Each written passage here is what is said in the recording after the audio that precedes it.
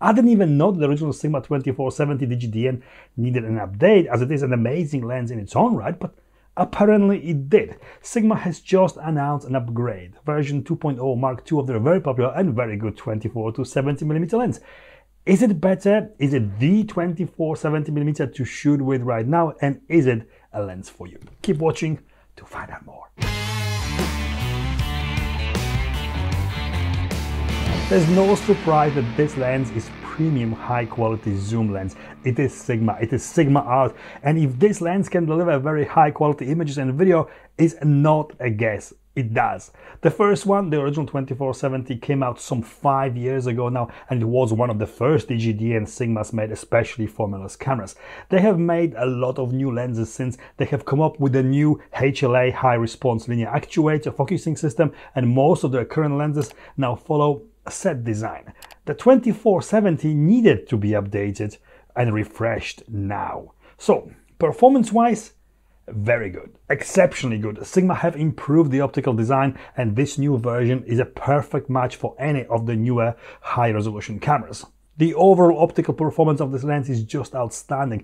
Minimum chromatic aberration, flaring and ghosting is very well under control. Sharp, of course, really nice and Sigma signature color and contrast and a zoom lens that is very, very hard to complain about. Nothing to complain optically about it for sure. Combining the optics with a very good and accurate autofocus makes it a pretty much a perfect lens for everyday usage. Everything from architecture to landscape, portrait, close-up, wide angle and everything in between. Minimum focusing distance is 17 centimeter at wide end and 34 centimeter fully zoomed in. Very decent for a lens like this, something that in my opinion makes zooms like this much more versatile.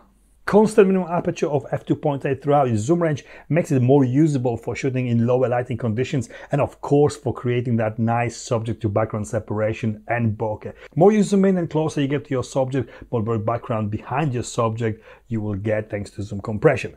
24 70mm was always considered a standard zoom as it covers a very useful standard range. It is often used as just one lens for everything and this one can do everything very well. Video, the 24mm focal length offers a versatile field of view, wide enough to capture a scene while still providing some depth to your shots. This makes it ideal for run and gun shooting scenarios where you need to adapt quickly to changing situations without sacrificing quality. 70mm gives enough reach to capture close-ups without changing your position too much too, but you also get everything in between the standard focal lengths of 35mm and 50mm.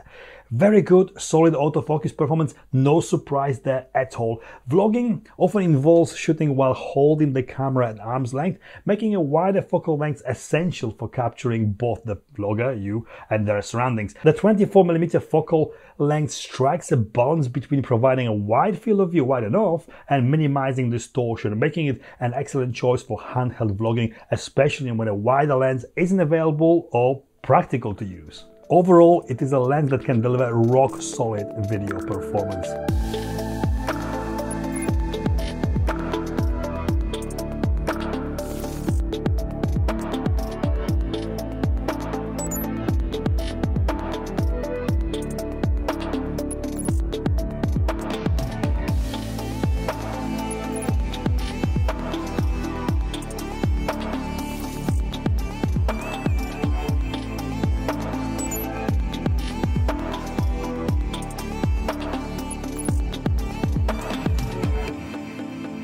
Built it is smaller and lighter than the original first version, but not much. 7% smaller and 10% lighter, it weighs 745 grams, 90 grams less than the previous version. It looks almost identical, but like it had been on a diet and lost a bit of a midriff. Same 82mm filter thread, but now the end of it seems wider because the overall lens barrel is thinner. The biggest difference is the new manual aperture ring. This is in line with all other current Sigmas. There's also additional focus hold button now. There's a two now. Uh, these can be programmed to whatever you need via the camera, both to the same function, of course. Lots of switches, standard auto manual autofocus switch, a switch to have aperture uh, clicking or clickless, Aperture lock, this is to lock the aperture in auto mode or keep it out of auto in manual mode, mode only, uh, preventing it from accidental changes. There's zoom lock as well. This locks the lens in at 24 mm so it does not extend by accident when being carried around or when taking the lens out of the bag, for example. Nice thing is that this locks disengages itself as soon as you turn the zoom ring. Great as you don't need to find it to fiddle with it when you need to zoom in and take the photo quickly. The lens extends a bit when zooming in standard. The zoom ring turns anti-clockwise standard with all Sigma lenses, but annoying if you use other lenses as well. All Sony or Lumix lenses turn the other way. The zoom ring is nice and stiff and there's some plastic on plastic rubbing hearable when zooming in or out. Not unusual either. The lens is fully weather sealed, there's no dust inside problem, and it is ready for serious pro abuse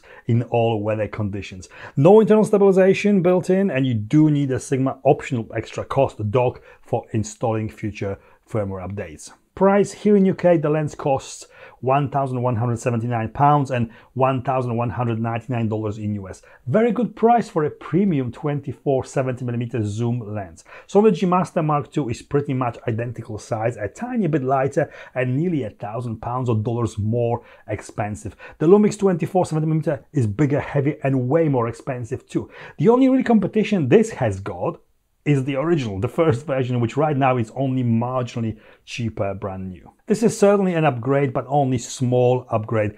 Marginally faster and better AF and manual aperturing are not that important to a lot of photographers or filmmakers. And if you already own the first version and you are happy with it, it might not need changing for this yet. Conclusion, this is an exceptional lens. This is definitely Sigma's flagship and a zoom that is gonna be instant classic. The first version had initial problems that gave it somehow bad reputation for a while.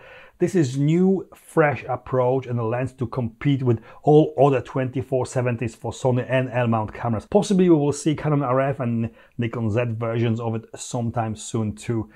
The price makes it more accessible, gives more people a chance to own and shoot with a pro quality optics, something that was always too expensive and out of reach of most. This lens is definitely a lens that could be just one lens for everything. Versatile, high quality option that can reduce overall size of your kit and a tool that won't let you down. Sigma can make amazing lenses and this is no exception. Highly recommended.